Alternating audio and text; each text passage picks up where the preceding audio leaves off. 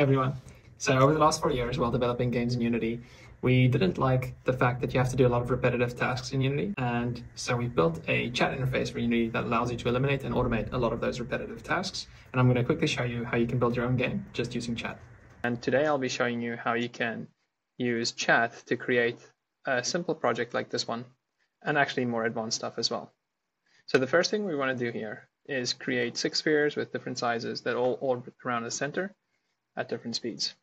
Let's see. One thing I'll pause here is the model starts thinking and instead of doing blunt changes to the project, we list out all the, the different steps that the agent wants to take on the right hand side. Then the developer can decide if those actions are smart and cancel them if they're not. And at the end, you can actually also run all of them at the same time, which is what I did there. Another thing I'm doing here is I'm replaying back everything at double the speed just to show this example. It was my prompt mistake, but all of the spheres are in the center instead of being at different distances off the center. So the next thing I'll do is just ask the assistant to fix this. So I move spheres to be separate locations. And the model thinks again, and then it's going to list out those options, and we just hit run all. And that wasn't far enough, so then in the next one, I ask it to do it slightly further. So there the model thinks again, and I run it all. And now just to test this, I'll hit play, and we can see them spinning around the center. Just to recap here, the model had to create all of these objects and then create the scripts, assign the scripts, etc. All of that without us clicking on anything. Now the next thing we want to do is make this look slightly cooler. We're going to create and assign textures to each of the planets uh, to make them look like basically planets for Interstellar. And I'll just pause there again. So it creates all of those functions. You can click on them. Here I'm clicking on them one by one instead of running all. And in the end, we have these nice planets with different textures, all rotating around the center. So the next thing we're going to do is slightly more involved. We want to add a spaceship at the center of the scene and then be able to control the spaceship via WASD. We also want the camera to follow this. So let me prompt this in here.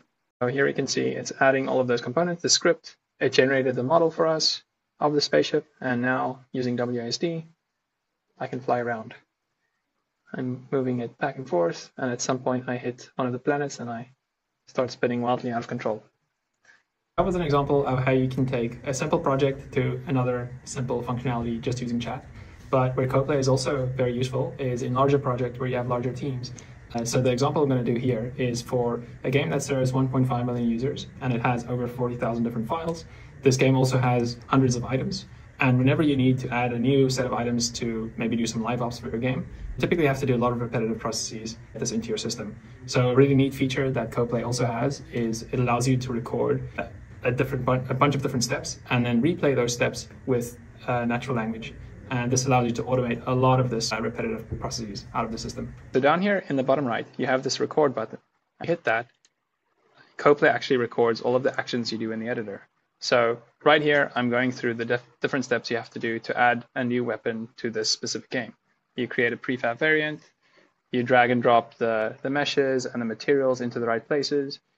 In this very quick sped up version. I'm dragging and dropping all of those transforms into the right properties on the right, which is very tedious. And you need to aim right.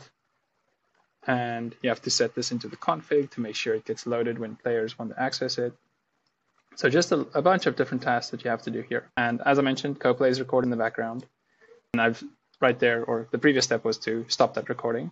What I'm doing here is actually adding a bunch of context into CoPlay, so it has to look at specific specific files and um, and objects. So you can see all of that down here in the right.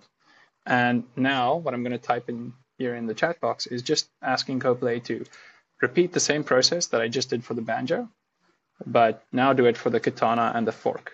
So basically adding two new weapons to our system using all the complicated steps we had before uh, and using all of the context of our, our project. And here you can see it lays out all of the steps correctly, um, starting with creating the prefab variant, creating all of those parts, and here I'm going to execute them, or I'm busy executing them one by one. Creating the fork, and you can see the meshes are created, assigning the materials, and you can see the, the katana here has actually changed now to have the proper material.